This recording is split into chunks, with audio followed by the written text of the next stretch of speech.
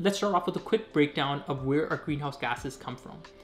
Number one, electricity production. 27% of the world's greenhouse gas emissions. It's exactly where nuclear energy can play a big role. Number two, making things. We love to make things, buildings, lots of concrete, cement, steel to reinforce those buildings. That's a total of 31%. It's by far the most amount of greenhouse gas emissions by any source. Number three, growing things, agriculture, beef, farms. This is 19%. It's quite a bit. Number four, transportation, planes, trucks, cargo, 16%.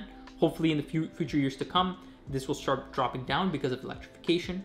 And number five, keeping things warm and keeping things cool. So heating, cooling, refrigerator. So this is around 7% of our total greenhouse gas emissions.